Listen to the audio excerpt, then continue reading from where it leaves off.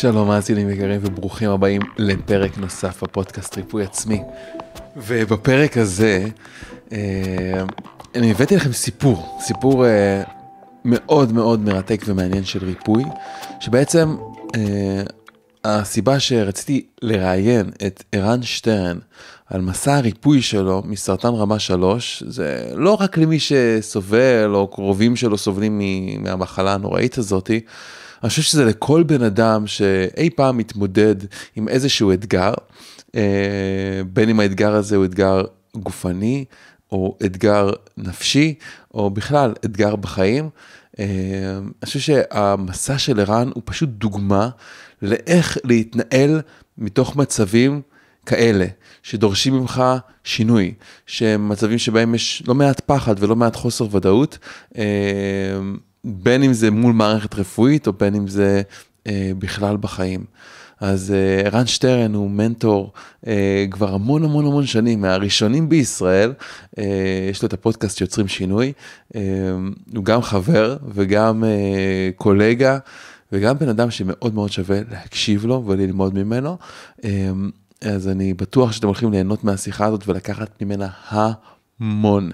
אם אתם מכירים מישהו שמתמודד מול מערכת רפואית או מול איזושהי בעיה בריאותית, בבקשה, תעבירו לו את הסרטון הזה או את, ה, אה, את הפרק הזה, כדי שיוכל להאזין לפרק הזה, כי אני בטוח שיש פה דברים שיכולים להציל חיים אה, ובטוח לשפר אותם. אז uh, מי שכאן פעם ראשונה, אני דן לוסטיג, אני ריפאתי את עצמי ממחלה אוטואימונית באמצעות ריפוי עצמי, ואחרי זה יצאתי למסע שבו רציתי לגלות מה ההבדל, מה בעצם מאפשר לנו לייצר מקום של רווחה נפשית ורווחה גופנית, ומה מאפשר באמת ריפוי, ואיך להפוך ריפוי לפשוט. אז בעצם עם הפודקאסט הזה, אני uh, שואף, אני במסע להפוך ריפוי עצמי למשהו שהוא נגיש, קל ופשוט לכל בן אדם. היום אני מכשיר מטפלים ברפואת על, אני גם מעביר תהליך שנקרא תהליך השלם לריפוי עצמי, שבו ממש לומדים להתחבר אה, למקורות הריפוי ולמשאבים הפנימיים שלנו ועושים טרנספורמציה עמוקה ומשמעותית בחיים וגם לומדים לרפא את עצמנו דרך הנפש שלנו. אה, אני עושה את זה כבר 12 שנים ואני זכיתי לעבוד עם אנשים בארץ ומכל העולם. אם אתם אוהבים את הפרק הזה או בכלל ללחוץ על subscribe או על פולו.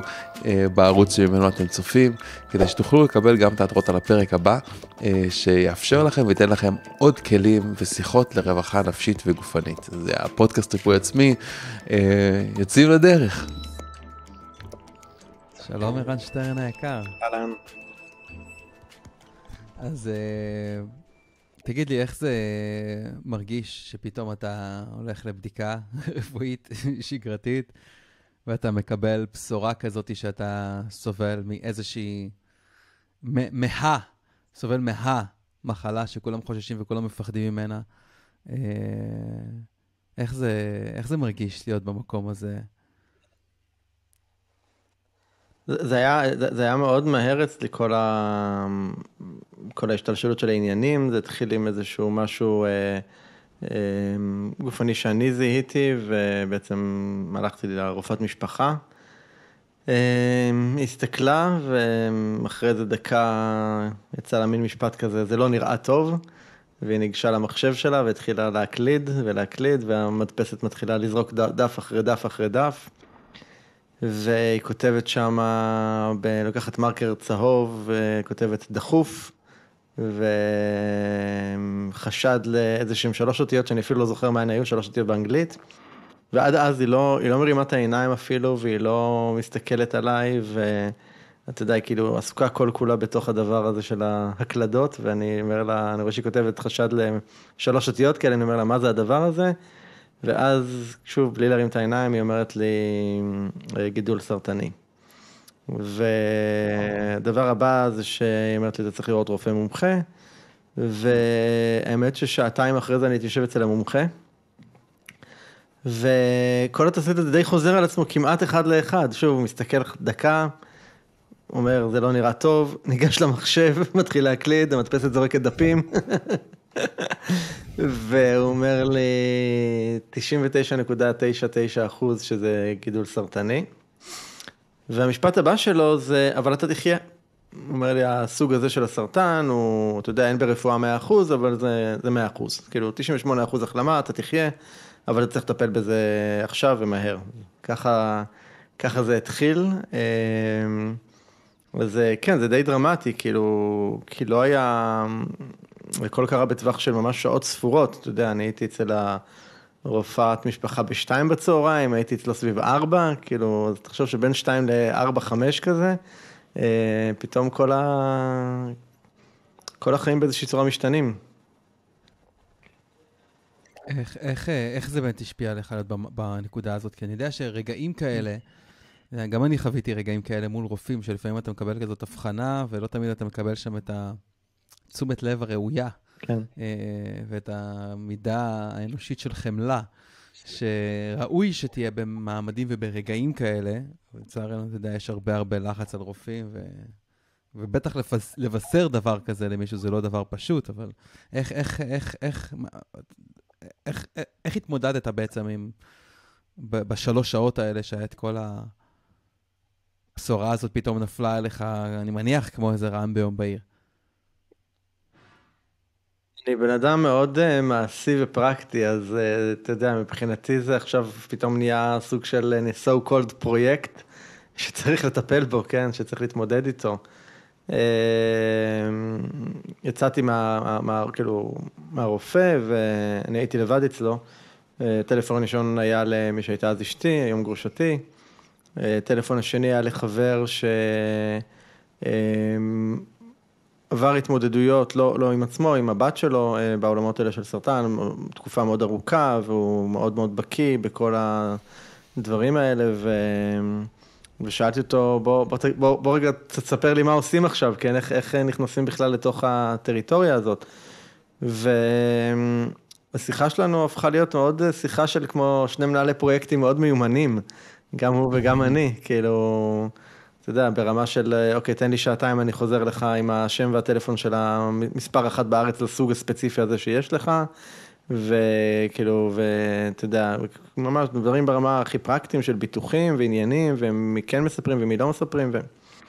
זה מהר מאוד עבר להיבטים הפרקטיים, לפחות בשעות הראשונות.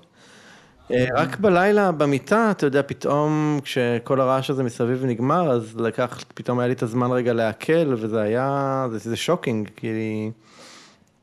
למרות שהרופא מההתחלה אמר לי, אתה יודע, אין לך, אתה לא בסכנת חיים, אה, אני חושב שעצם המפגש עבורי, עצם המפגש עם המילה הזאת שנקראת סרטן, היא כל כך מורכבת, זה כל כך טעון, זה כל כך מפחיד.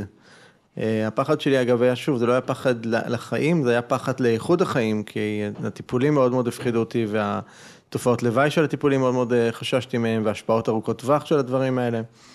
אז, אז הפחד היה במקומות האלה, ובלילה עם עצמי אה, זה, זה עלה, זה עלה, זה צף, זה מאוד מטלטל, זה, זה לא משהו ש... אתה יודע, ועברתי דברים בחיים, אבל זה לא משהו שיש משהו שמכין אותך אליו. וזה לא משהו שאפשר כן. להתכונן אליו, אה, באמת, עד שאתה לא פוגש אותו, ואז, אה, אתה יודע, you're doing your best, אבל אה, זה מטלטל מאוד. כן, אני בטוח, אני זוכר שנפגשנו באותם ימים, או זה נכון. נפגשנו טיפה, קצת אחרי.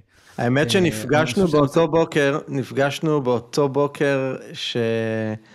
שיצאתי לראות את הרופאה. אמ, למעשה, למעשה אני, אני, אני ראיתי שמשהו לא בסדר ביום ראשון, וביום שני יצרתי, ראשון בערב, יום שני יצרתי קשר עם הרופאה, ובשלישי בבוקר, ממש במפגש שלנו, קיבלתי ממנו הודעה, בוא עכשיו. ואז עזבתי, אני לא יודע אם אתה זוכר, עזבתי את המפגש מוקדם יותר ונסעתי. כן, אה, אני זוכר. במפגש הבא כבר הגעת עם... אה, במפגש הבא כבר הגעתי עם הבחנה. עם הבחנה ועם קופסת, קראת לזה קופסת אוכל עצוב. Mm, כן. אבל נגיע לזה עוד רגע, כי אני רוצה שנייה אחת להתמקד על הרגע הזה, כי זה כל כך כל כך חשוב. יש את המומחה, אחד המומחים הבינלאומיים לטראומה, אה, דוקטור גבור מטה, קצת ציטטתי אותו בפרק שעבר, בפרק האחרון שהקלטנו על חרדות. אני יודע גם עליי, עוד רגע אני אביא את הציטוט שלו, אה, לפני כמה, לפני שבוע וחצי עברנו לידת, אה, לידה מוקדמת במצרים, לא יודע אם אתה יודע, כן, כתבת לי, אתה יודע. כן. כתב, לידה מוקדמת במצרים, ומצאתי את עצמי באמת במצב שהוא כל כך קשה ומפחיד ו, ו, ומציף, והדבר שבאמת נתן לי כוח ונתן לי תקווה ואפשר לי להפוך ממצב, אחד מהדברים, כן, שאפשרו לי לעבור ממצב של פחד מאוד גדול ו- ו- וטראומה מאוד גדולה למצב של תפקוד, היה זה שקיבלתי עזרה, שקיבלתי תמיכה. כן. ואתה יודע, לי זה היה כל כך כל כך חשוב ועמוק. ואני רוצה לחבר את זה למשפט שדוקטור גבור מטה אומר, אומר, אין בעיה שבחיים שלנו אנחנו חווים נקודות שבר, שאנחנו חווים אה, סטרס, שאנחנו חווים עצב, שאנחנו חווים כעס, או כל מיני רגשות כאלה ואחרים. הבעיה קורית מתי שאנחנו עוברים את כל הדברים האלה לבד. ובעצם, מתי שאנחנו אה, מתמודדים עם דבר כזה ואנחנו אה, בעצם פתוחים לקבל עזרה, אז מה שקורה זה, ש... זה ש... זה שאחד מהאלמנטים שמייצרים טראומה, שזה בדידות, שזה להיות לבד במקום הזה, נעלם. ואני חושב שזה זה, זה משהו מאוד מאוד חשוב שאני לוקח מהדברים שאתה אומר כרגע. כאילו, הדבר, הצעד הראשון הזה, ללכת ולקבל עזרה, או לקבל תמיכה, או לשתף עם מישהו, בין אם התמיכה היא תמיכה עכשיו טכנית, לעזור לך, או בין התמיכה היא תמיכה של מישהו רגע לדבר איתו ולעכל את החוויה, אה, מאוד מאוד מאוד חשוב. אני חושב שזה מאוד נכון, ואני... אה, אה, כן? רק אה, שנייה אחת לגבי, אה, נחתוך שנייה אחת, פסט פורוורד לעתיד רגע אחד, היום אתה, אתה בסדר, נכון? כן, מה המצב הבריאותי היום? כבר, שנייה אחת? אה, אני ש... עוד מעט כבר כמעט ארבע שנים אחרי הגילוי, אני הכל בריא והכל טוב, ו... ואני בטוב לגמרי. מעולה. כן. אוקיי, אבל, אבל עברת מסע ועברת דרך כדי להגיע לשם. ואני שמעתי את הסיפור הזה, כי הוא, הוא עבר לתלמידים שלנו בקורס אה, רפואת על, אה, שדרך הסיפור שלך נתן להם המון המון המון כוח וביטחון ו, ו, וידיעה לדרך. בגלל זה היה לי כל כך חשוב, כבר הרבה זמן רציתי, רציתי שנקליט את הפרק הזה, כי אני יודע שכמה הסיפור הזה כבר תרם ויכול מאוד מאוד לתרום מהדרך שאתה עברת, כי בעצם ראיתי בגישה שלך משהו מאוד מאוד חיובי, ואיך ניהלת את הדבר הזה.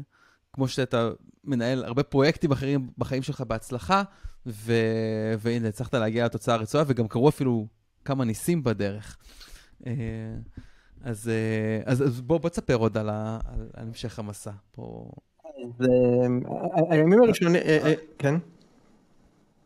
אז אתה מגיע למצב שבו אתה, כאילו, מעכל, שומע, שומע את הדבר הזה עם כל הדרמה שמסביב, אבל יש פה שביב של תקווה שהרופא אומר, אבל אתה תצא מזה.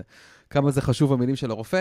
לא תמיד יש את הרופא האופטימי או את המילה האופטימית הזאת מהרופא, אבל יש שם נקודה של אופטימיות, ואתה נעזר בחברים, ואתה בסוף בערב בבית אתה כבר מעכל את החוויה הרגשית של מה שאתה, של מה שאתה עובר. אני בעיקר חווה אותו בשלב הזה, אני חושב שהעיכול הגיע אחר כך. אה, אני פשוט חווה, חווה את הפחד, חווה את החוסר אונים, כי זה... זה בעצם די מושך לך את השטיח מתחת לרגליים בכל החיים, זאת אומרת, כל דברים שחשבת שאתה מתוכנן לעשות אותם, או רוצה לעשות אותם, או מתכוון וכן הלאה, הכל פתאום נהיה לא רלוונטי פתאום, כל ה... כל העתיד שמתוכנן לך פתאום הופך להיות ללא רלוונטי, וזה זה, זה מורכב, זה, זה קשה להיות ב, ב, בסיטואציה הזאת, שאין לך פתאום שליטה, ואני בן אדם שאתה יודע, מאוד מתכנן ומאוד קובע ומאוד ב, באחריות ומאוד בשליטה, ופתאום כל הדבר הזה אה, ב, ב, בשנייה אחת אה, נעלם, זה, זה מאוד מטלטל. אה, ו... וכמו שאמרת, כאילו מצד אחד כן, הרופא אמר לי אתה תחיה, מצד שני מאוד מאוד הפחיד אותי, כמו שאמרתי, תופעות הלוואי, זה מאוד מאוד, אה, אה, מאוד חששתי מזה. ומהר מאוד בעצם, כאילו, השלבים, זה, זה היה ממש לטפל במה שצריך, זאת אומרת, להגיע, לעשות את הבדיקות שצריך, זה להבין מי הרופא שאני רוצה שיטפל בי, זה, זה, זה ללמוד בכלל שפה חדשה שעד אז בכלל לא הכרתי, של... של מה זה אומר אה, סרטן ומה זה אומר הסרטן שלי ומה זה אומר ואיך מחלימים מהדבר הזה ואיזה טיפולים יש ומה תופעות לוואי של טיפולים ו, ונכנסתי לכל העולם של תזונה וכי הבנתי, היה לי מאוד ברור שהתזונה יש לה השפעה מאוד מאוד משמעותית על ההחלמה שלי. אז גם זה, זה פתאום מלא מלא ללמוד עולם שלם שקודם לא, לא הייתי חשוף לו ולא נדרשתי לו. אז זה, זה לקח כמה ימים, אני חושב שלושה ארבעה ימים הראשונים זה ימים קצת של הלם, של שוק, בדיקות, ובעצם אחרי משהו כמו, אה, ארבעה, שלושה ארבעה ימים, אה, יש לי כבר איזושהי הבחנה ברורה של מה, עם מה אני מתמודד, ואז משהו קצת נרגע, כי ברגע שאתה יודע מה יש לך ואתה כבר מבין קצת מול מה אתה עומד, אז, אז אתה יודע, הוודאות קצת חוזרת והביטחון קצת חוזר. ומהרגע הזה זה באמת נהיה כמו סוג של, באמת אני מסתכל על זה כמו פרויקט שניהלתי, של איך אני מחלים בצורה מיטבית והצורה הכי, הכי קלה עבורי והכי נכונה והכי תואמת אותי. ואני אגיד פה כמה דברים ככה שאני חושב שהיו מאוד משמעותיים, לפחות בתפיסה שלי עבור ההחלמה שלי. אמ, זה מתחיל קודם כל בתפיסת האחריות. אמ, והתפיסה שלי הייתה זה שאני אחראי על ההחלמה שלי, לא רופא כזה או אחר.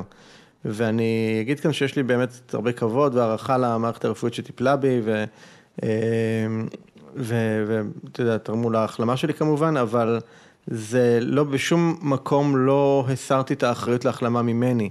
זה אומר שאם אה, זה בלבקש עוד חוות דעת אה, מעוד רופאים, אה, אם זה, מה שאגב, רק הדבר הזה תרם לזה שהבחנה שגויה שנעשתה על ידי אחד הרופא הראשון שטיפל בי, מנעה ממני לעבור כימותרפיה שלא לצורך, אוקיי? רק מתוך זה שאני לקחתי את האחריות ואמרתי, אני רוצה עוד חוות דעת, והלכתי לבקש עוד חוות דעת, אז הדבר הזה מנע ממני לעבור טיפול כימותרפי שלא לצורך.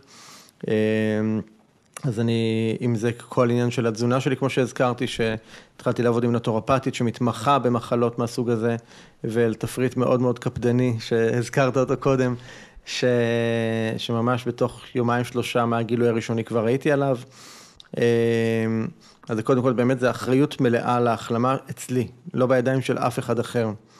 ואני חושב שהרבה אנשים שנתקלים במחלה כזו או אחרת, אז באמת יש נטייה לבוא ולהגיד, אוקיי, הרופאים יודעים יותר טוב וכולי. אז זה נכון שהרופאים בתחום שלהם הם המקצועיים, כמובן, אבל עדיין אני מכיר, אני אחראי על הגוף שלי ואני מכיר את הגוף שלי הכי טוב. ואני חושב שזה, בעיניי זו תפיסה סופר משמעותית להחלמה. לגמרי. אמ, אתה יודע, יש, אה, יש את תגובת, ה, תגובת הסטרס של הגוף. זה, זה fight, flight או freeze, כאילו לקפוא, אה, לקפוא, לברוח או להילחם. כן. זה שלושת האפים קוראים לזה. שזה מתי שמופעל, אנחנו קוראים לזה יודין ברפואת המערב, מתי שמופעל מנגנון הסטרס של הגוף, זה אחד, אנחנו צריכים לנקוט באחד מדרכי הפעולה האלה שבעצם אה, יעזרו לנו לשרוד. ואתה יודע שחקרו את הנושא הזה וגילו שיש עוד, יש עוד דפוס פעולה, שזה דפוס פעולה אוטומטי, וקוראים לזה פלופ.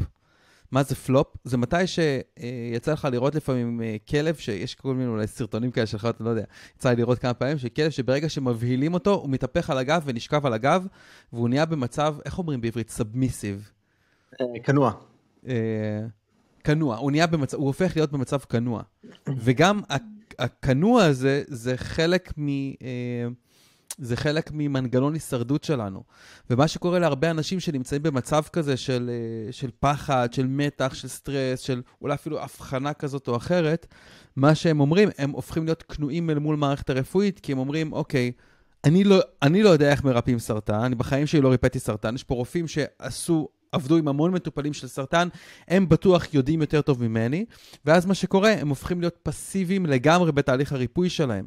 ואז הם הולכים במסלול האחד שהרופאים מכווינים אותו בהם, בלי לשאול שאלות, בלי לחקור עוד, בלי לבקש אולי עוד חוות דעת, בלי לבקש עוד פרספקטיבות על הנושא, בלי לטפל באספקטים הרגשיים, התזונתיים, ואתה יודע, אתה יודע, חלק גדול מהרופאים, היית שואל אותם על שינוי בתזונה, מה, מה הם ממליצים, הם יגידו לך, לא, תמשיך לאכול מה שאתה צריך, אתה לא שמן או משהו כזה.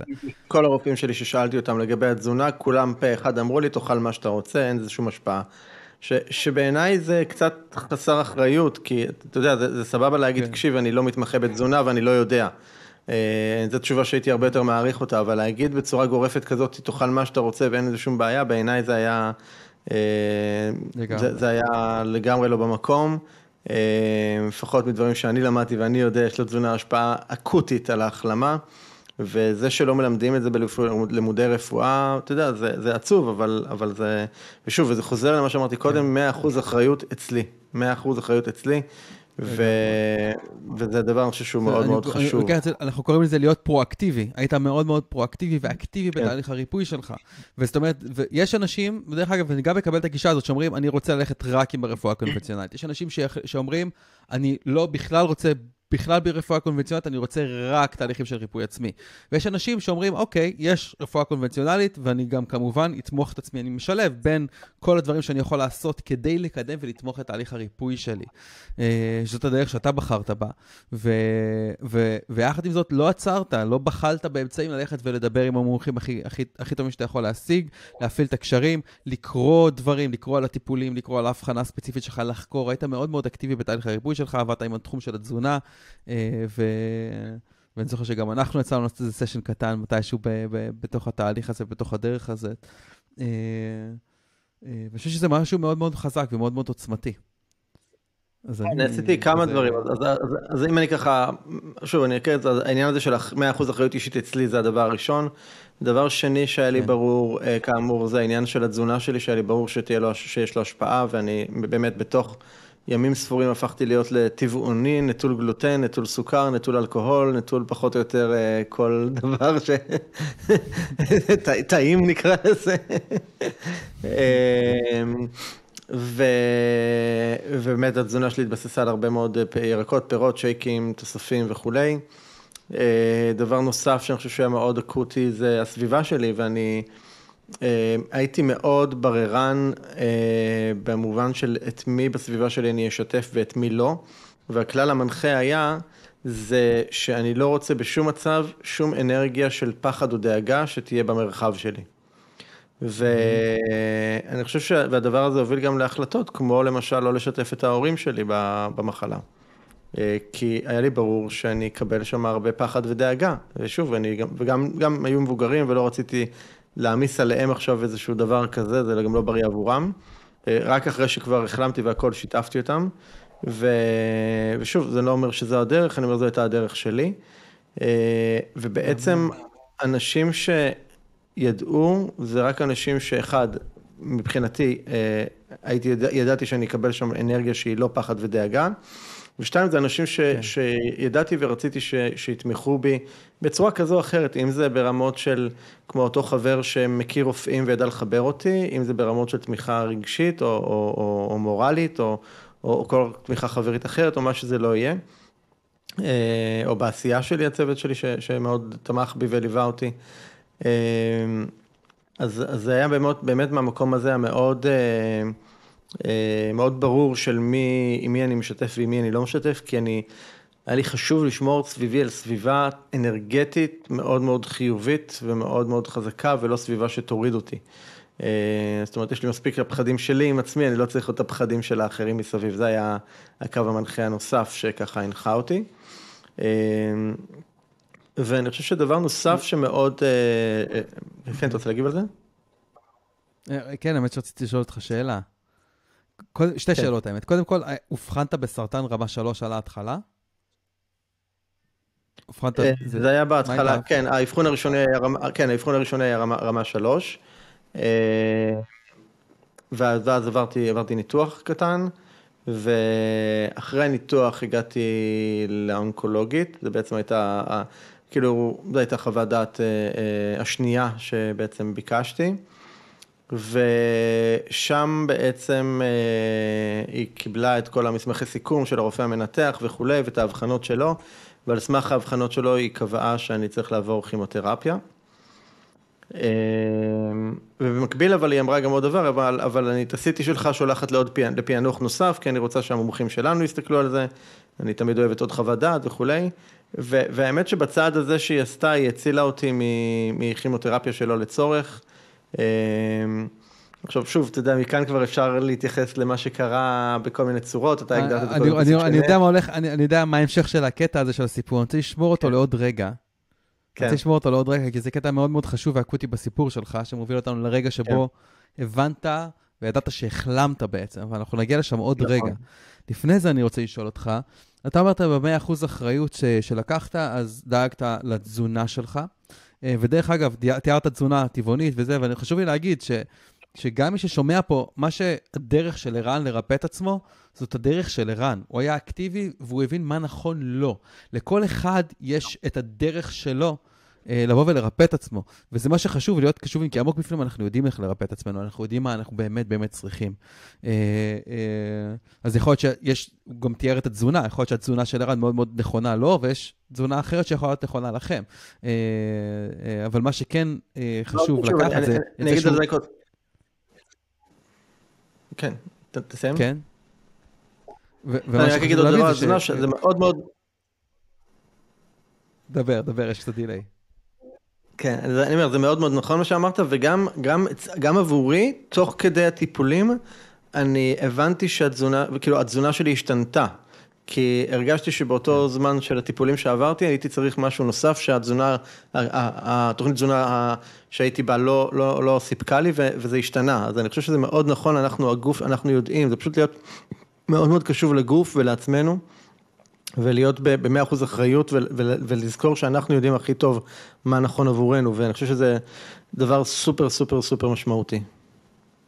מהמם. ותגיד, עכשיו אני רוצה לשאול אותך שאלה כזאת. לאורך כל ההתחלה לפחות של התהליך הזה, האם שאלת את עצמך את השאלה, למה זימנתי, או למה הגיע הדבר הזה לחיים שלי, מה זה בא ללמד אותי, איך זה בא לעזור לי, האם שאלת את השאלה הזאת? בשלב הזה. אה, השאלה הזאת הפכה להיות מאוד קונקרטית וישירה, בדיוק כמו שניסחת אותה אחרי שהחלמתי, אבל כן אה, היה לי ברור ש... שיש שם משהו עבורי, וגם אני חושב שזה היה בלילה השני אולי, אחרי הגילוי, משהו כזה, אה, השני, אולי השלישי. ישבתי באחד הלילות עם המחברת שלי ופשוט כתבתי מה טוב בזה. כתבתי מה, מה ההתמודדות הזאת תביא לחיים שלי, ואיזה טוב היא תביא לחיים שלי, ו, ויש שם רשימה לא קצרה של דברים, עכשיו זה, זה, אני חושב שזה דבר שהוא מאוד מאוד חשוב, כי אני באמת מאמין שכל אירוע כזה, כל משבר, כל התנסות כזאת, גם אם היא לא נעימה או כואבת או מורכבת או מה שזה לא יהיה, אני מאמין שיש שם מתנות עבורנו ושהיא לא קורית סתם.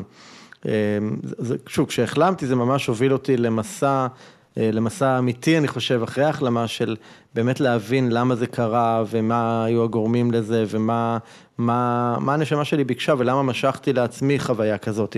אה, אבל זה הגיע בשלב יותר מאוחר, זאת אומרת בשלב הראשוני בעיקר הייתי ממוקד בהחלמה, וכמו שאמרתי זה היה ממש כמו סוג של פרויקט החלמה, ו...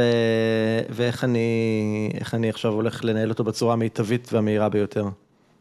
אז איך, איך למשל, איך, אה, מה, מה למשל כתבת ברשימה הזאת של איך הדבר הזה הוא תורם לך, הוא יכול לעזור לך? כי אתה יודע, במצב כזה, במיוחד אם זה מצב דרמטי, זה יכול להיות מאתגר וקשה לראות את הטוב מתוך, אה, מתוך אה, מצבים כאלה וסיטואציות כאלה. איזה דברים טובים למשל ראית? כל מיני דברים, דברים למשל כמו שאמרתי שאני מאמין שזה יחבר את המשפחה שלנו בעוד רמה, שזה, אתה יודע, יחבר, יחזק את הקשר בעוד רמה, אני חושב, עם הילדים למשל וכולי. עם זה שזה יאפשר לי רגע לנוח וגם להסתכל על העשייה שלי ממקום חדש ומה נכון ומה מדויק ומה לא מדויק יותר. אה, או בכלל על כל מיני היבטים אחרים בחיים שלי של להבין מה כן ומה לא. אה, זה יאפשר לי להעמיק קשרים עם אנשים שחשובים לי ובסביבה שלי. אה, ושוב, אני חושב שהיה לי, לי באמת מאוד ברור ש...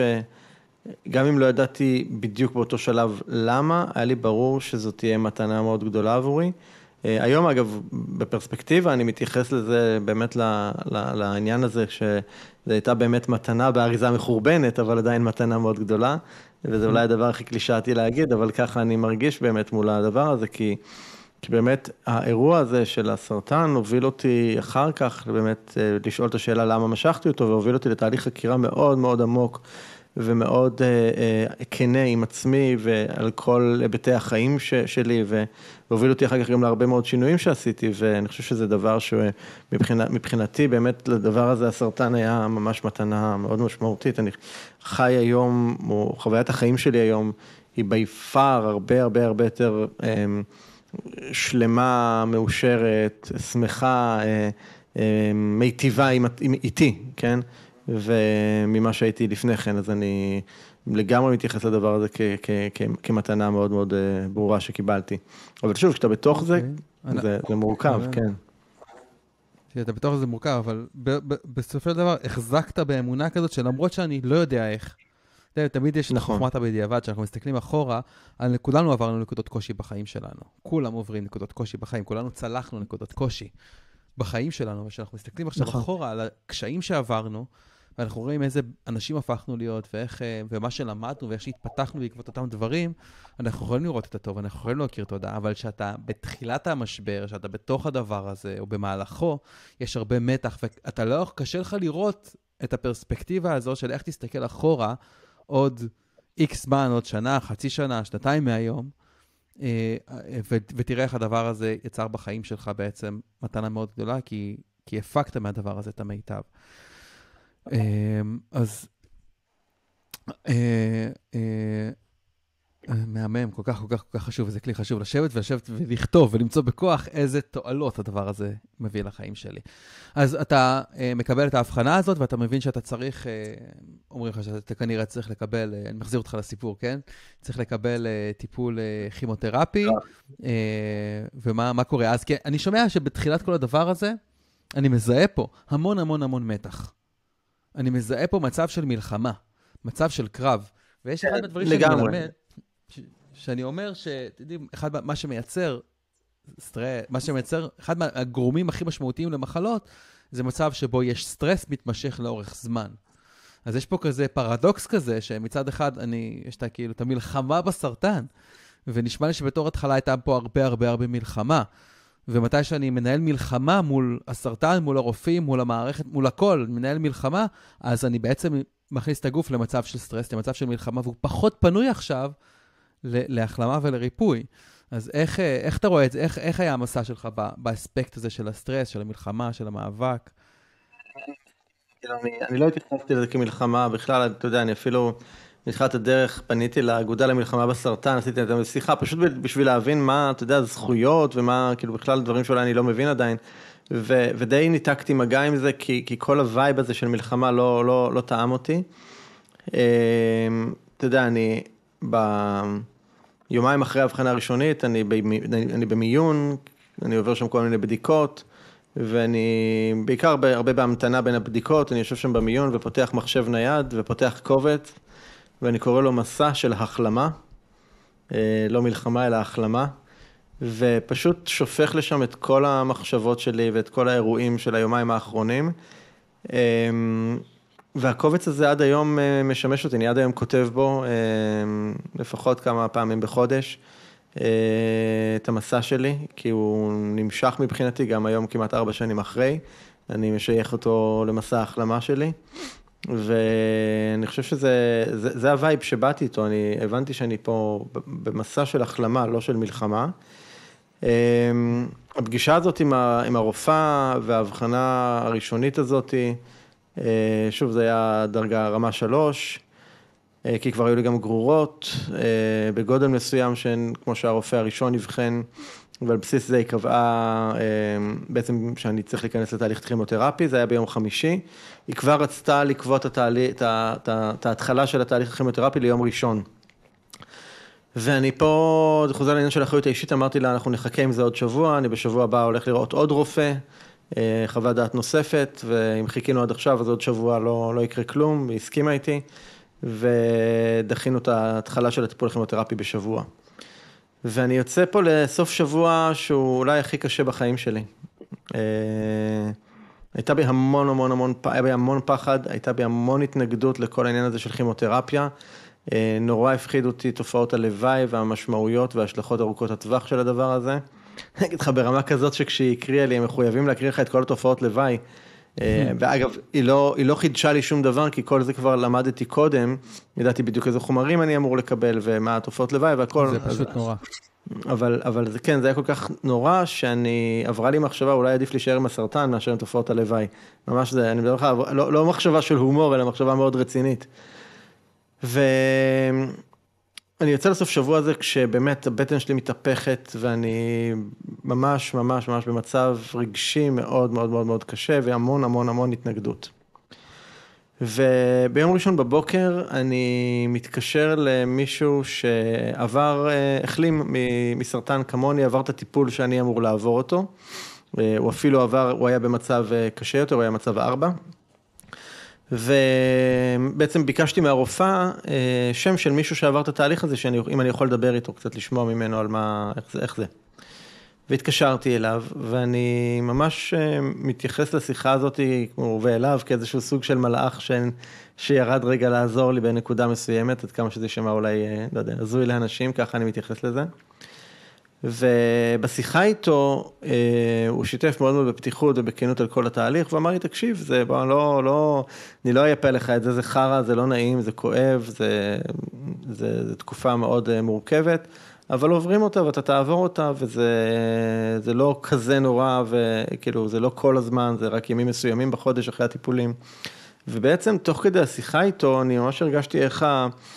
איך ההתנגדות הגדולה שהייתה בי לתהליך הכימותרפי, איך, איך היא מתמוססת, איך היא יורדת, ואיך אה, לאט לאט אני מקבל את זה, ואני עם עצמי תוך כדי השיחה עובר ממש איזשהו תהליך של קבלה, ואני אומר, אוקיי, אם זה מה שאני צריך לעבור, אני אעבור ואני אתמודד עם זה, ובעצם מאז יש איזה שתי...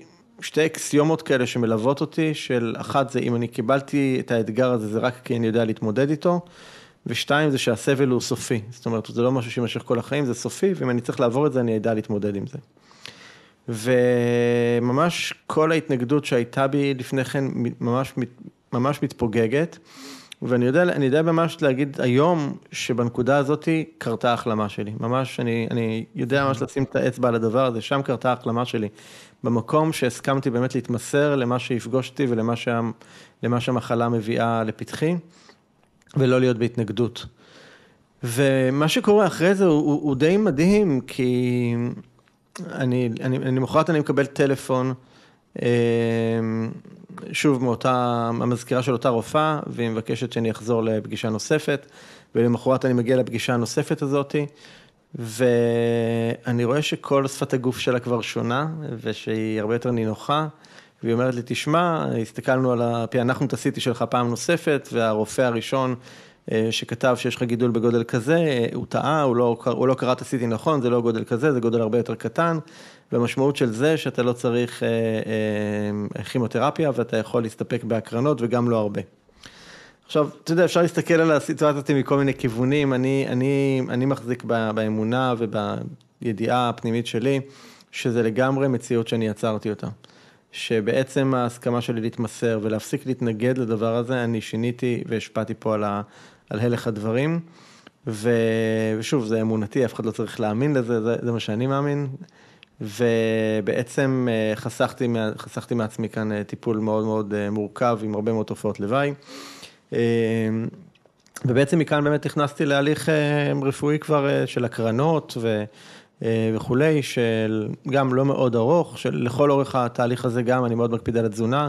אגב, כשהתחילו הקרנות, אז, אז בעצם ראיתי שהתזונה שהייתה לי כבר לא, לא טעמה אותי, אני, היא גרמה לי להרגיש מאוד חלש ומאוד לא טוב, אה, ואני פשוט אה, החזרתי לתפריט שלי ביצים ודגים, כי הרגשתי, שוב, אינטואיטיבית לחלוטין, הרגשתי שזה מה שהגוף שלי צריך. ו...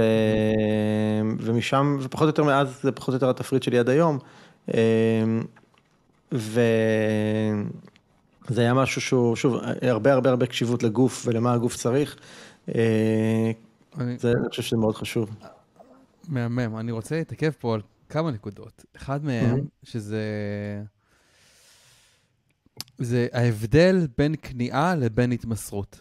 קודם כן. דיברנו על אחד, מה, אחד מה, מהגורמים של, אה, אחד מהאפקטים של סטרס, זה מקום שבו אני, אני נהיה הופך להיות כנוע אל מול גורם סמכותי אחר, אה, כן. או אל מול בן אדם אחר, או מישהו אחר, או גוף או ארגון מסוים. וברגע הזה זה יכול להיות להוביל לרגע שבו אני ממש מבטל את ה-common sense שלי, מבטל את החיבור שלי לעצמי, לגוף שלי, להיגיון הבריא שלי ולידיעה הפנימית שלי של מה אני אמור לעשות ואיך אני אמור לרפא את עצמי. ו... זה כמו להיסחף בנהר. יש, שמעתי פעם את, ה, את, ה, את המושג הזה מחבר משותף שלנו, מעופר אייל, שאומר, אתה יכול, אתה עכשיו בתוך הנהר, בסדר? הנהר זורם. אז אתה יכול כאילו להיכנע, ואז הנהר יכול להטיח אותך בתוך סלע, אחרי סלע, אחרי סלע, ואתה באמת יכול לצאת חבול ופגוע, אם תצא. או שאתה מבין כרגע שאתה נמצא בנהר והנהר זורם. אתה לא יכול להתנגד לזרם שלו. אתה תנסה לשחות נגד הזרם שלו, אתה כנראה יאזלו כוחות, כוחותיך ואז אתה תיכנע. אה, אז, אז הוא אומר שלהיות בהתמסרות זה, אני מבין שאני בתוך נהר, ואני מבין שהנהר הזה זורם עכשיו מהר, אבל אני אתייצב בצורה כזאת שאני יושב עכשיו עם הפנים מול הזרם, עם הרגליים קדימה, מוכן לספוג את המהלומה הבאה, ואני יכול לראות עכשיו לאן אני רוצה להגיע. פתאום אני יכול לראות פה איזה פינה של חוף, אני יכול טיפה לנתב את עצמי, ולנתב את עצמי בתוך הזרם הזה של מה שקורה לי. ו...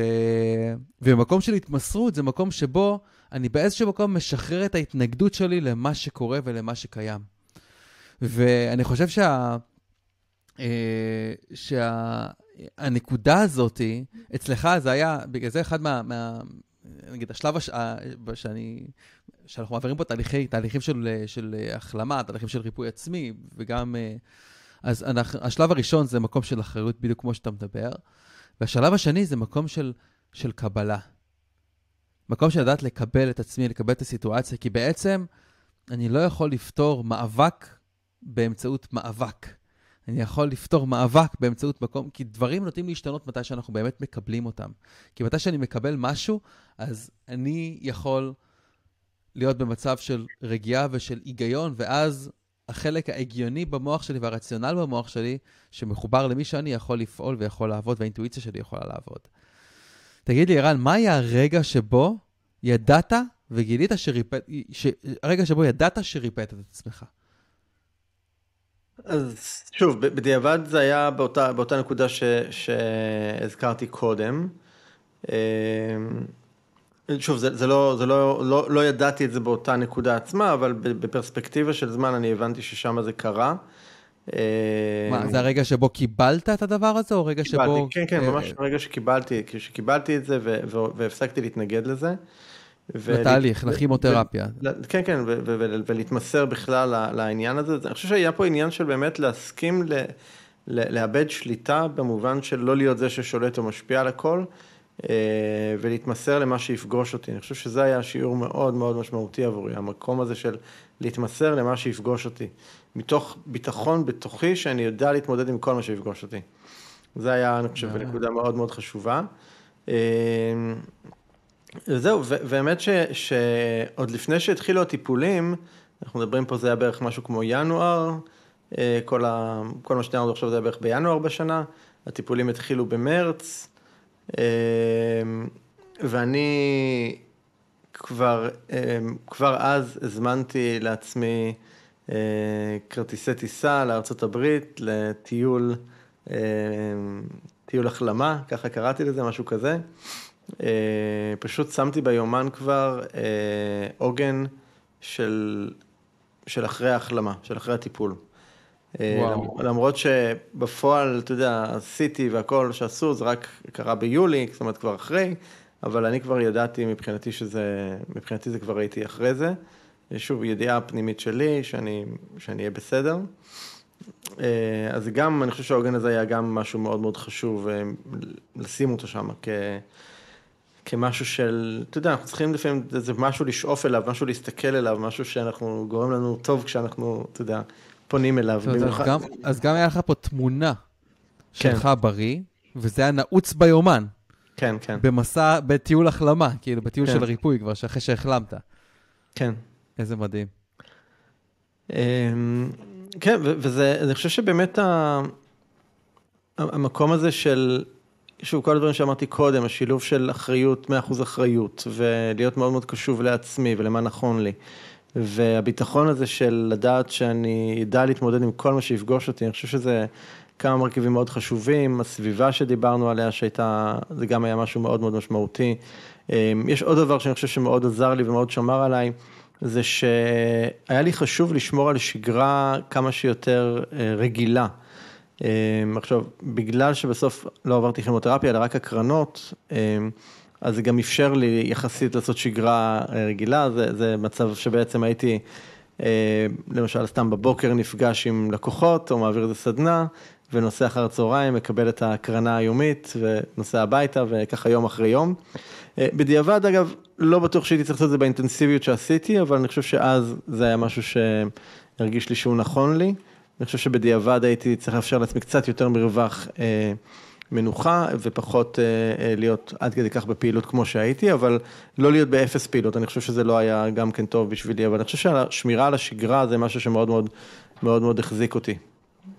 אני חושב שהוא היה חשוב גם כן להחלמה שלי. טיפ חשוב מאוד. עכשיו אני רוצה שתדבר קצת על איזה שינויים התאפשרו בחיים שלך.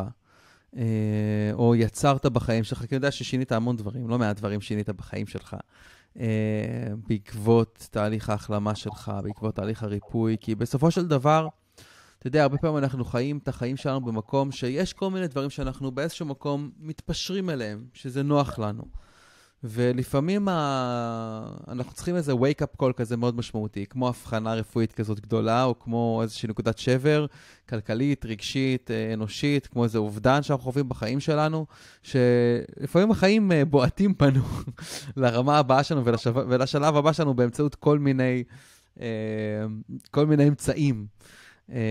אז תגיד לי, ערן, אולי אתה יכול לשתף אותנו קצת מה... כן. מה...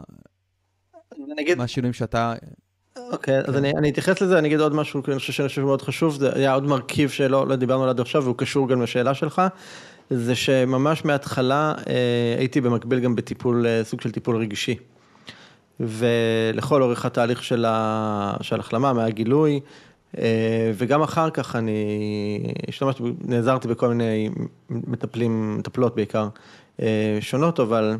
באמת אחרי ההחלמה, השאלה שמאוד הדהדה בי ומאוד אה, היה לי חשוב להבין אותה, זה באמת למה משכתי לעצמי חוויית חיים כזאת, ומה השיעור ומה השינוי שאני נדרש לעשות. ובעצם, למרות ששנים אני הייתי בטיפול ועברתי תהליכים וכולי, זו הייתה באמת פעם ראשונה שהרשיתי לעצמי להיכנס מאוד מאוד מאוד מאוד עמוק לתוך עצמי. אה, וברמה של לא להשאיר אבן על אבן, אלא להרים את כל האבנים, לגלות את כל השרצים, את כל הפחדים, באמת אה, ברמה מאוד מאוד עמוקה, מאוד, אה, מאוד כואבת, מאוד מטלטלת, מאוד מאתגרת. זה היה תהליך מאוד מאוד קשוח, היה קשוח. בעצם אני חושב שהוא היה הרבה יותר קשוח אפילו מתהליך ההחלמה הפיזיולוגי שעברתי, הרפואי, זה היה בעצם העניין הנפשי. אני, אני אגיד פה עוד משהו לגבי הדבר הזה, וזה מזכיר לי שיחה שעשיתי עם איזושהי קולגה שגם אה, משהו כמו שנה אחרי שאני חליתי, גילתה שגם היא חולה, והתקשרה אליי ועשינו שיחה, ואני אמרתי לה, היא הייתה עוד בתוך תהליך ההחלמה שלה, אמרתי לה, אבל את יודעת, כשאת מסיימת עם זה, תזכרי, את בפוסט טראומה. יש פה פוסט טראומה שצריכה להתמודד איתה. ולצערי המערכת הרפואית לא נותנת לזה שום מענה. אף אחד לא דיבר איתי מה קורה ביום שאחרי, ואף אחד לא, זה לא, זה לא, זה לא בשיח בכלל, ולא, אין שום תמיכה לדבר הזה. ואמרתי לה, תביני שהתהליך ההחלמה שלך הוא לא מסתיים כשהרופאים יגידו לך שאת נקייה. התהליך שלך יסתיים, הוא לא יודע אם הוא יסתיים, אבל הוא, הוא, הוא, הוא ממשיך אחר כך, והוא, ויש שם ממש סוג של פוסט-טראומה שאת נמצאת בה, שאת צריכה לתת לזה ממש מענה ומקום. וזה מה שאני הלכתי להתמודד איתו, כי, כי זה באמת ככה, אתה, שוב, סרטן או כל מחלה קשה אחרת, זה, זה, זה טראומה רגשית, נפשית מאוד מאוד, אה, מאוד, מאוד גדולה, אה, ואי אפשר להתעלם ממנה, ואסור להתעלם ממנה. אז אני הלכתי באמת לטפל בזה, ומתוך התהליך הזה התחלתי לבחון כל, כל מימד בחיים שלי. אה, אם זה העיסוק שלי, ואם זה מערכות היחסים בחיים שלי, ואם זה בכלל הבריאות שלי בהיבט רחב יותר, ו... ואז השינויים התחילו לבוא. אה, ואני חושב שההתמודדות עם מחלה כמו סרטן נתנה לי הרבה מאוד אומץ לעשות שינויים מאוד מורכבים, כי הבנתי שאין לנו זמן אחר, זאת אומרת, אתה... אין לנו גם באמת שליטה על שום דבר, הרי ברגע אחד כל החיים יכולים להשתנות, אני הייתי כש, כשאובחנתי הייתי בן אדם בריא, אני עשיתי ספורט, אכלתי בריא יחסית, מטופל, כאילו לא היה לי שום, שום דבר שהכין אותי לזה ש, אה, שאני, שאני אתמודד עם סרטן, והנה פתאום יום אחד זה, זה הופיע, אז אני לא חושב שמישהו מאיתנו באמת חסין מהדבר הזה, ואז זה אומר, בעיניי, שאין לנו זמן, אין לנו זמן אחר, אין לנו זמן שבו התנאים יבשילו ויהיו הכי מושלמים לעשות X או Y, יש עכשיו. ושאלתי את עצמי איך אני רוצה לחיות עכשיו ואיזה חיים אני רוצה לעצמי. וזה הוביל להרבה מאוד שינויים, אה, ביניהם שינויים, שינויים אה, כאילו מאוד לכאורה ניכרים, זה שינויים של גירושים ומעבר של בית אחר, אבל אני חושב שהשינויים היותר מהותיים הם פחות ניכרים לעין חיצונית, הם שינויים פנימיים שעברתי. אני חושב שכל ההסתכלות שלי על החיים השתנתה. אה, כמו שאמרתי, אני הרבה יותר מקדש את הרגע הזה מאשר עתיד או עבר, ולבחור כל רגע מה, איך ואיך אני רוצה לחיות ומה אני רוצה להפיק מהחיים האלה, זה משהו שמאוד נשאר איתי מההתמודדות עם המחלה. אה, אני חושב שכל המימד של אה, אותנטיות בחיים שלי, הוא השתנה בצורה מאוד מאוד משמעותית.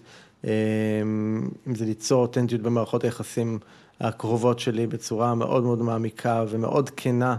אה, גם כשמדובר בדברים מאוד מורכבים וכואבים, זה, זה היום מבחינתי קשר שהוא לא, לא אותנטי, אני לא רוצה להיות בו. אה, אם זה כנות מאוד מאוד גדולה עם עצמי, עם הסביבה שלי, כל ההורות שלי השתנתה, אה, כל התפיסה שלי לגבי איזה אבא אני ומה אני נותן לילדים שלי ומה אני לא יכול לתת לילדים שלי וכן הלאה, כל הדבר הזה עבר הרבה מאוד שינוי, הרבה מאוד ניקיון ו... גם ש... הקמתם עסק ביחד, הם כן, עסק, לא? כן, אנחנו פה מצלמים עכשיו באולפן שלהם. אם זה כל ה... אמ, כל אה, המיניות שלי השתנתה לחלוטין, אה, דברים שבעצם קודם לא, לא נתתי להם מספיק את המקום או את המשקל או את המקום הנכון בחיים שלי. אני חושב שזה, שזה השינויים הבאמת, אה, הבאמת, באמת, באמת משמעותיים, יותר מכל שינוי חיצוני כזה או אחר. ו, וזה הוביל אותי באמת לחוויית חיים שבעיניי היום הרבה יותר מיטיבה והרבה יותר בריאה עבורי והרבה יותר מדויקת עבורי. אה, ניקיתי מהחיים שלי המון המון המון אשמה והמון ריצוי והמון, אה, והמון פאסון ומסכות וכל מיני הגנות ששמתי סביבי. אה, זה היה ממש אה, לפרק ולפרק ולפרק את הדברים האלה ולהוציא אותם מהחיים שלי. אה, ואני חושב שזה הפך אותי לבן אדם הרבה יותר שלם והרבה יותר שמח והרבה יותר מאושר בחיים שלו והרבה יותר, והרבה יותר בריא. מהמם. וואו, כמה השראה. אני חייב לשתף איתך משהו, אתה יודע, כן. לפני כמה חודשים שהתחלתי לטפל, בהתחלה שהתחלתי ללמד רפואת על, אז עיקר התלמידים שבאו לעבור זה אנשים שכבר עברו אצלנו תהליכים כאלה של פרואקטיב, שזה ממש תהליך כמו שאתה מתאר, שממש לוקחים את ה... מרימים את הסלעים ורואים את כל השרצים שנמצאים שם ומנקים אותם. והעברנו באמת אלפי אנשים את התהליך הזה, והרבה פעמים אנשים שהיו באים ללמוד רפואת על זה אנשים שכבר עברו את התהליך הזה. ועכשיו שיצאתי לאור לפני איזה כמה שנים עם רפואת על בגרסה החדשה, פתוחה לקהל הרחב, אז התחלתי, המשכתי ללמד, כאילו רפואת על, כמו שאני מלמד רפואת על, את הפרקטיקה של איך להיכנס לנפש ואיך להיכנס לגוף ואיך לעשות ריפוי ולמה קשור כל מחלה ואת הגישה ואת התפיסה הנכונה לגבי ריפוי והחלמה. ואז קלטתי, וואי, משהו חסר שם. אנשים חייבים לעבור את הטרנספורמציה העמוקה הזאת בחיים שלהם, של להיכנס פנימה לתוך מעמקי הנפש, מעמקי תת המודע, ולנקות שם את, ה, את הדברים שיושבים שם, את חוסר הדיוקים בחיים שלנו, את, ה, את הפרשנויות בחיים שלנו שהן לא מטיבות עמנו. כי בסופו של דבר, מתי שיש את כל הדברים מתחת לפני השטח שהם מפריעים ומונעים ממני לחיות את החיים כמו שאני אמור לחיות, הגוף ידבר. הגוף ידבר, הגוף יביא לנו, החיים יביאו לנו, הבורא יביא לנו, תקרא לזה איך שאתה רוצה, את ההתנסויות כדי שתהיה לנו את המוטיבציה לבחור בעצמנו ולעשות טרנספורמציה עמוקה בתוך החיים שלנו. ו... ו... ותגיד, אתה מאמין שיכול להיות שאם היית, אולי, לא יודע, אתה יודע, זו חוכמת הבדיעבד, אבל זאת שאלה רטורית, אתה לא חייב לענות עליה אם אתה לא רוצה. אבל אם היית, למשל, בוחר לעשות את הטרנספורמציה הזאת, האם יכלת לעשות את הטרנספורמציה הזאת גם בהיעדר הסרטן בחיים שלך? אה, טוב, אנחנו אף פעם לא נדע, נכון? אבל... אה, כן. אני חושב שתאורטית התשובה היא כנראה כן. אה, מעשית, אני מאמין שאני, שוב, אני מאמין, כחלק מתפיסת האחריות שלי על החיים שלי ועל אירועי החיים שלי, אז אני מאמין שאני משכתי לעצמי את חוויית הסרטן הזאת כדי לגרום לי לזוז. זאת אומרת, או שהנשמה שלי כן. ביקשה את החוויה הזאת כדי לגרום לי לזוז. אז כנראה ש, שבפועל לא, לא הייתי מספיק ער ולא הייתי מספיק אה, על הדברים אה, במובן של לעשות את זה בלי לחוות חוויה כזאת. מצד שני, אה, אני חושב שבאמת בפועל בסוף ההתמודדות הרפואית שלי גם עם, עם, עם מחלה הייתה מאוד מאוד מאוד פשוטה. יחסית, אני ראיתי מקרים בי פאר הרבה יותר מורכבים, אז אני באמת, כן. אתה יודע, טפו טפו, באמת עברתי משהו אה, איך אותו חבר אמר לי בשיחת טלפון השנייה, הוא אמר לי, זה יהיה רעד קל בכנף, ככה הוא קרא לזה. אז באמת זה היה מבחינתי רעד קל בכנף, אני תוך ארבעה חודשים כבר הייתי אחרי, אה, עם, עם טיפול יחסית פשוט וכמעט בלי תופעות לוואי. אני באמת ימים ספורים, בודדים, אולי במצטבר שבוע, בכל התקופה הזאת הייתי במיטה, אתה יודע, או עם כאבים, או, לא, או שלא הרגשתי טוב אה, בגלל הטיפולים. אה, ממש כאילו, יצאתי לגמרי בזול, אפשר להגיד. אה, אז אני חושב שזה חלק מהעניין, זאת אומרת שהנשמה שלי ביקשה איזושהי חוויה אה, מטלטלת, אבל לא מטלטלת מדי כנראה.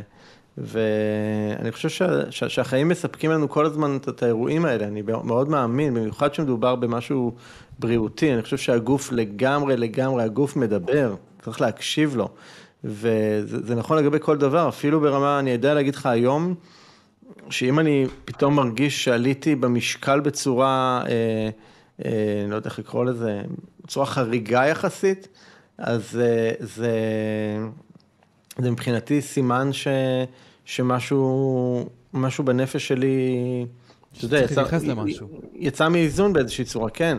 זאת אומרת, כן. אני, היום, אני, היום, אני היום ממש מסתכל אפילו ברמת הרזולוציה הזה של, שוב, אני לא מדבר לך, עליתי את הקילו שניים שהעולים יורדים כל הזמן, אני מדבר פתאום, עליתי, לא יודע, שלושה ארבעה קילו, אני, אני מסתכל על זה, ואני אומר, אוקיי, למה? כאילו, מה, מה קרה בחיים שלי, איפה אני לא ערני, או מה אני לא עושה, או מה אני לא שם לב. מה יושב לי בנפש, מהמם. בדיוק, כן, אני, אני, אני, אני, חושב שהגוף, הגוף והנפש כל כך מחוברים, שבאמת הגוף הוא, הוא ביטוי של הנפש, ו, ולכן צריך להיות קשוב ולהקשיב לו. ו... ואני יכול... זה כמו זוגיות כזאת, שזה כמו זוגיות, זוגיות אומרים שחושבים שזוגיות נבנית ברגעי האושר, ברגעי השיא, בחתונות ובכל כן. הדברים האלה, אבל שזה כמו שזוגיות טובה נבנית ברגעי קושי וברגעי משבר, שצולחים נכון. ביחד. אני חושב שהמערכת יחסים הזאת שאתה מתאר עם הגוף שלך, נבנתה מאוד בעקבות המשבר הזה. אה, חד משמעית, וזה מערכת יחסים שלא הייתה לי קודם, כי עד אז הגוף שלי מבחינתי היה... היה לו תפקיד לסחוב את הראש, ולקחת אותי ממקום למקום, כן?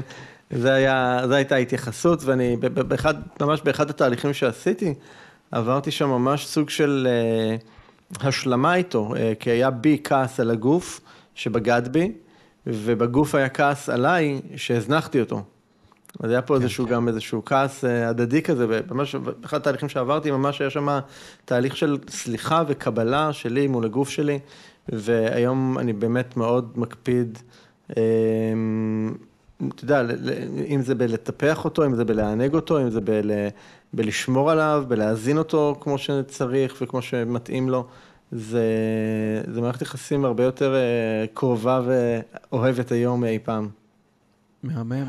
וואו, ערן, תודה רבה על פרק מדהים, איזה כיף. תודה. אני חושב שנתרמנו פה הרבה הרבה. יש אולי איזה מסר אחרון שהיית רוצה ככה להעביר למי ששומע אותנו עכשיו? אמ, אני אגיד אולי כאילו שני דברים שככה עולים לי בראש. אחד, אה, לאנשים הבריאים, אה, זה לא צריך לחכות למשבר כדי להתעורר, לא צריך לחכות למשבר כדי לעשות שינוי. אז כאילו בואו תסתכלו כבר עכשיו על החיים ותראו מה, מה תואם אתכם ומה כבר לא, ומה שלא אז לשנות. אה, ולאנשים שמתמודדים עם איזשהו קושי או אתגר בריאותי כזה או אחר, או בכלל, אה, אני חושב ששוב, כל משבר שקורה לנו קורה לצורך, וזה משהו שקשה קצת לפעמים להבין אותו, במיוחד שאתה נמצא בלב הסערה עכשיו, אבל אה, זה, זה מה שאני מאמין, ו, ואם זה קורה לצורך, אז זה אומר שאני יודע להתמודד עם הדבר הזה.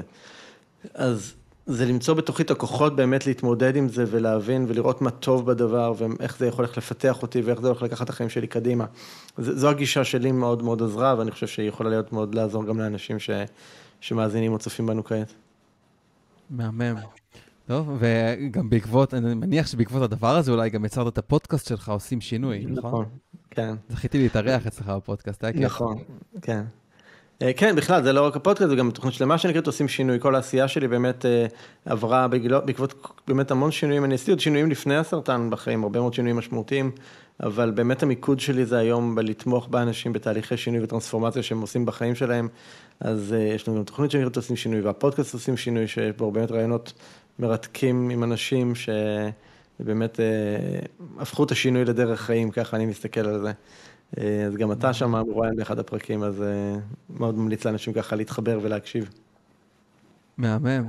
ערן, תודה רבה על כל הידע ועל כל הערך הזה שנתת פה עכשיו. מי שירצה לשמוע ממך עוד, ללמוד ממך עוד, נשים איזה לינק לאתר שלך, או לאן?